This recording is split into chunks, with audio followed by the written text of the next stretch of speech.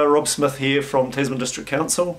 So I'm just talking to you today um, just to give you a bit of a heads up on the drought. Um, you realise that the drought's increasing in severity and we just kind of wanted to get some more information out there.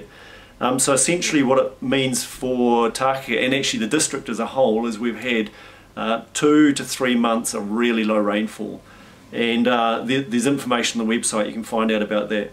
So what this means, it means that your rivers are on about a 1 in 50 year return period, possibly even higher. So you'll see the Takaka and the Aorere quite low flows at the moment, and a lot of the small creeks are really, and they'll be dry at the roadside, a lot of those.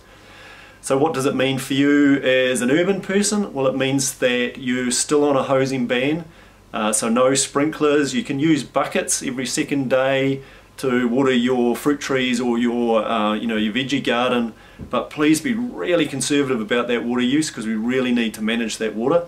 Council is treated just like the other irrigators. What does it mean for the other irrigators or consumptive users? Uh, as of Monday, they're on a 50% cut. So at the moment, they're on a 35% cut. They're going to 50% cut as of Monday. So that means that they need to cut back their, their use by 50%. That applies to urban as well. So we shouldn't be seeing any lawns in the bay getting watered and we really want to see that, um, that uh, kind of efficiency really come in. And remember, you will see irrigators irrigating still because they still are allowed to use 50% of their water, but they will be managing that and targeting their key areas.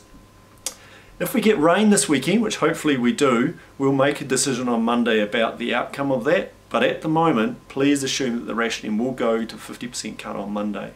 Very small aside to that is the Waikoropupu Springs you'll notice there the output from there is probably a bit lower than you're used to seeing.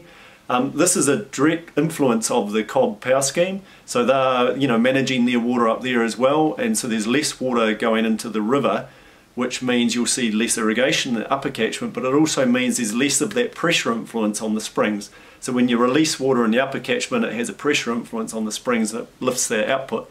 So it's completely natural, it's nothing to be worried about, but it's just reflecting the river flow and the use of the Cobb Power Scheme.